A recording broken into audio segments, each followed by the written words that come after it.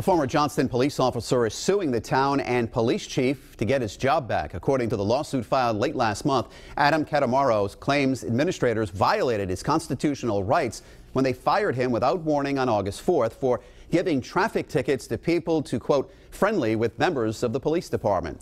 Catamaro served with Johnston Police since 2009. He wants his job back, all back pay, benefits, and his attorney fees paid. Now, the town denies the allegations.